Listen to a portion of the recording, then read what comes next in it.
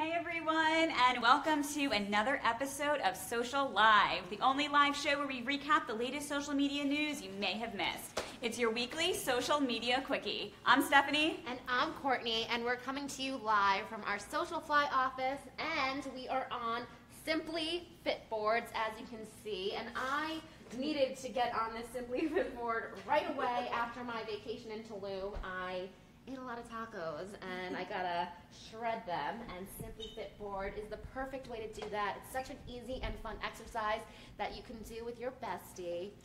And you can do it while you're watching Social Live, while you're working, or at home while you're watching TV. It is a very simple and easy exercise, and great if you want to lose a couple inches oh around Wow, the abs, you around the really waistline. Burn.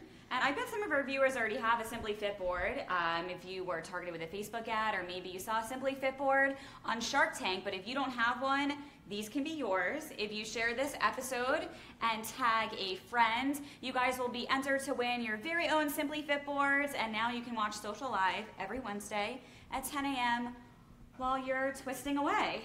Twisting. This is so much fun. It's pretty easy to use too, and I really feel the burn. I have a little cramp. I've already been doing this for Adriana. How many minutes have I been doing this for? One minute, 60 seconds, and I feel like I've had a one hour workout, so this is good. And I have a surprise for you, Courtney, that I didn't want to share with you. I'm excited. I wanted to Love bring you love surprises. surprises. I No, wanted to don't. bring you back to your days in Tulum that are so far away now. And Christy, while you were It was away, just yesterday, I know. Christy discovered a very cool foodie Instagram trend the other day called Fruta Pop, and we're gonna try it, and you'll see why it's gonna bring you back to Tulum. Yeah, so today we have Fruitapop Pop Tails is what they call them. So basically what they are is they're your favorite popsicles from when you were growing up, but they have alcohol in them. An adult twist. An adult twist, so it's super fun. I'm loving them um, for the summer just because like everyone loves obviously popsicles during the summer because it's super hot out, especially in New York. And everyone loves having a nice drink, you know? When you've been working a long week, it's nice to have a drink. So now you can have them in popsicle form and they're really fun. They have cute little labels on them and you can find them on Instagram at Fruta Pop. And so we have some to try today. Anyone want to pick first? Dude, do they have mango? I that will guess really bring me back to Tulum this because I had the best be- tasting mangoes when I was there. This would probably be your best bet. And they have a bunch of flavors on their website. They have um, around like 20 flavors. They have like watermelon margarita. They have um, cherry coke and rum.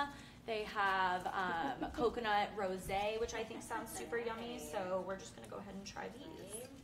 Christy, why do you think these have taken off on social media?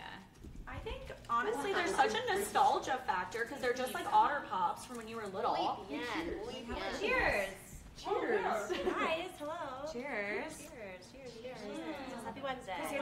I think you forgot to open mine. No, I caught them all. Here. Here, Yeah, so so it's it's a a bag. Ziploc bag. Oh my god. Yep. What do they taste like, Caitlin? Um, summer. That's like the best way I Summer, could put it, yeah.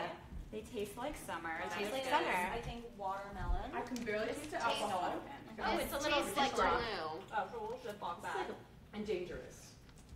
Yeah, this is dangerous. I feel like these can, uh, Mmm. What's yours? tastes like rosé. Is this mango? This tastes like mango. Oh, this is delicious. So do you just get these online? Yeah, you can order them online, and then they're selling them at select venues around New York. Um, I know at Pergola they have the lilac pop.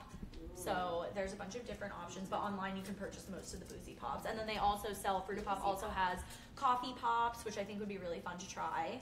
Eat, drink them in the morning, eat them in the morning, and then they also have just regular fruit pops. This is great. Now you can drink anywhere, Wow. anytime, on the go. Or on the Simply Fit board. exactly. Is that safe? Can you twist on the Simply Fit board while you're drinking fruit? Do pop? not drink and twist. So don't do this Don't drink and twist. Don't, all right. Oh, I'm gonna watch you drink and twist at the end of this episode. Uh, I don't know. I didn't advise it, so I don't know. Well, speaking of things that are trending on Instagram, Instagram hmm. had a very big update yesterday. Oh, thank you, Caitlin. Uh, Instagram launched location stories and hashtag mm-hmm. stories, and this is something we were waiting for after last week's update when we saw that we could tag uh, hashtags within Instagram Yeah. stories. So, Caitlin, show us exactly how this works All so right. everyone at home can see. Can someone hold my fruit pop? Thank you. I'm probably gonna eat it. Okay, so I love this update. What you can do is you can search a location on Instagram. So obviously I picked Shake Shack in Madison Square Park. And what you can do is you click right up here, and now I can see all of, oops, sorry, there you go, all of the stories that have been taken at or been tagged with the Madison Square Shake Shack location tag.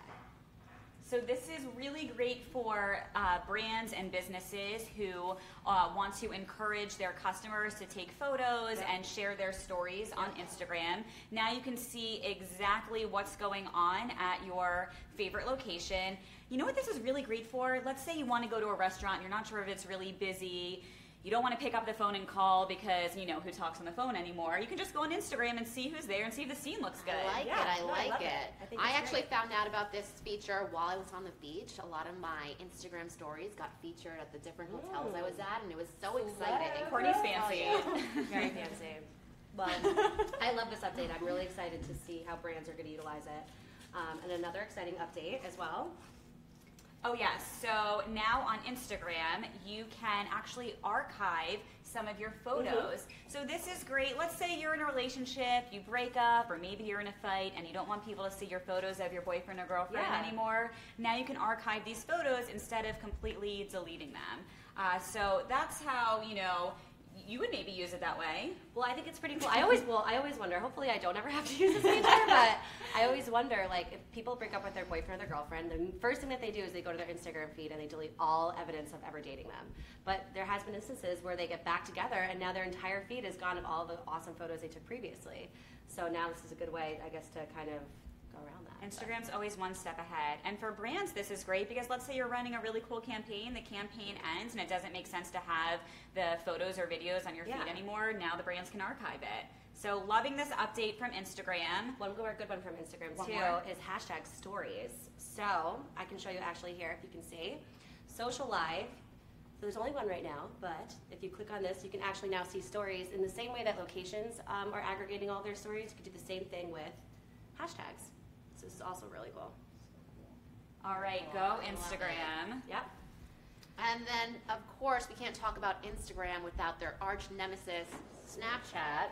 And Snapchat did a little thing called clapping back. Yes. And Good they job. clapped back and they launched group stories. So Yes. now, let's say you're having a wedding, a bachelorette party, any kind of event, you can make a story with your friends, and everyone can share their different snaps from the event, and everyone Yeah. can see what went on, and you can see all the different perspectives. And I love it's this Really, idea. really cool. I I can't wait for Instagram to steal this one. I know. Well, I recently went on a bachelorette party, um, number of bachelorette parties, one specifically in Vegas, and we all had to download this app so we can share all of the pictures and, and videos that we took. This would have been a great solution for that. So I'm excited for this. This is cool. Another update from Snapchat that Courtney will be waiting to roll out to Instagram next Yeah. week. But speaking of the bach- bachelorette parties, the Yes. Bachelorette premiered on ABC on Monday night at 9 p.m. And we were talking about this last week Mhm. because usually they release all of the men who are going to be on the show several weeks ahead of time. But ABC waited until the last minute. They decided to do a Facebook Live with Chris Harrison Yeah. where he announced all of Rachel's contestants on the show. So we're continuing to see all of these uh, big brands, just like ABC, utilizing Facebook Live, our favorite platform, on Wednesdays at 10 a.m. And it really got people engaged talking about the different contestants on social media, which was trending on Monday night on, Yes, it was. on Twitter. I've already read all the spoilers because I have no patience. but she gave a big spoiler herself and let everyone know that she is already engaged and happily engaged. so I will be I will definitely be watching this season, but I hope there's still drama even though we now know it's a happy ending Oh, yeah. because that's why you watch for the drama and to judge all the Isn't there contestants. always a happy ending on The Bachelor? Uh, there's Juan Pablo. No, no, no, that was not happy. Juan happy. Pablo, no. Juan Pab, no. That was good, Caitlin. Well, we're excited to have one of our favorite Social Fly friends here in June for a special edition of Social Live. We're going to have Reality Steve here talking about everything going on uh, on this season of The Bachelorette. But he will not be sharing the spoilers live on air because Amber will get very upset at us. So we're That going is to true. try to keep who won uh, under wraps here. And we're not allowed to participate in our Bachelorette bracket, Jules. Um, so we'll see what's trending next Monday, but definitely check out The Bachelorette on Twitter. You'll see what all the past contestants are, are tweeting about. So, speaking about other things that are trending, Other things that are trending, and I am extremely passionate about this subject. Carpool karaoke with Katy Perry aired, I think yesterday, last night, and Katy Perry addressed the feud with Taylor Swift, and I have literally been waiting for this for months because they keep annou- like dropping songs, going back and forth, and Katy Perry dropped Swish Swish last week. She's been getting all these questions about what it's about, and she finally addressed that there is a situation between herself and Taylor Swift. And James Corden is trustworthy, so I would tell him anything. So I feel like that's why she opened up to him. And she said that Taylor is the one who has to end the beef. It's over backup dancers, and Katy said that was just stupid. So I will be following this story more than I already do because I want to know if Taylor Swift is going to finally address what is going on, or if she's going to release a new song. I Hasn't she know. been like just gone? Period. She's been well, we gone. haven't used our Taylor Swift. Kanye. We haven't used our Taylor Swift ah! talking head. I want I Katy thought it was Perry and Kanye Mayer. to release a song. yes, that would be a good one. Well, yes, they did both date him. I thought it was about No, that. No, it's I over thought. backup dancers. Apparently, Taylor tried to steal Katy's backup dancers, Whoa. which is That's a shady. And you know what feud I think might be starting on social media? Ellen DeGeneres and Jessica Simpson. They were trending all over social media yesterday as the most awkward interview of all time on the Ellen Show. It Show. was really bad. The Britney min- Spears gives pretty awkward interviews. Don't talk oh. about Britney like that. and awkward Instagram videos. but That's another Yeah. story. So look up the Jessica Simpson video on Ellen on YouTube. You okay? will Not you sure. will thank me for watching that one. It, it's It's unbelievable. crazy. I think she was on something. But Or, Or or she she tried first. Maybe she's playing. You heard it first. You know what Jessica Simpson proves to everyone in America? Anyone can start a billion dollar empire. Yeah. Even I think she even. I think she even It's said true. that. I could do it. Anyone could do it. Absolutely. So we will see what happens with uh, that trend on Twitter. And speaking of more fun things on Instagram, the Billboard Awards were on Sunday night, and Sam has all of the fashion trends that we may have missed on Instagram. I do, I do. So, just like Jules, I'm very impatient. I didn't look up who the who the winner of the Bachelorette is this season actually, but I do turn to Instagram to see what the red carpet looks are because I don't like to watch E anymore and just wait for Giuliana Rancic to bring them out and I just don't have the patience because I might miss them and then I don't get to see the full dress. So I turn to my Instagram feed. So these are my favorite and least favorite looks. So I loved Lea Michele. She had a great turn on a little black dress here, as we can all see. It has cutouts. She looks amazing. The top knot, I'm just loving this look. Another look, Vanessa Hudgens. She actually co-hosted the event. She had a ton of costume changes and she looked gorgeous the entire time. And she really proved to all of America and everyone watching that she is an amazing singer. Her, oh my gosh, her range is insane. If you if you watch her intro, she was unbelievable. Um, and then another look I loved was Kate Beckinsale here in a firework dress. She looks stunning. And then least favorite, Halsey, sweetie, what are you doing here? My mom actually texted me and said, "Who is that girl and what is she wearing on stage?" She was presenting and she just looked looked a little messy. and then Jason Derulo, you do not wear velour in 96 degree Vegas weather, especially with maroon pants and loafers. You look a mess. but I did love your performance with Nicki Minaj. That was an awesome, awesome moment, and everyone on social media was Sing talking us, about it. Sam. I don't know about that, but maybe next time.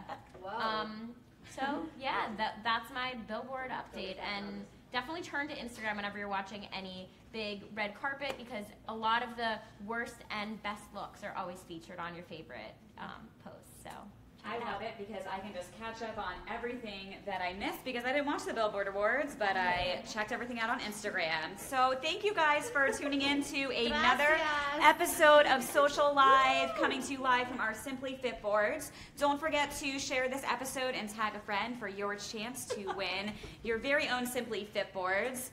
Fun and easy to use, and now I can burn off all the calories from our Fruta Pops. Have a great week, everyone, and Courtney, we'll see you next week. Adios, amigos. Bye, everyone.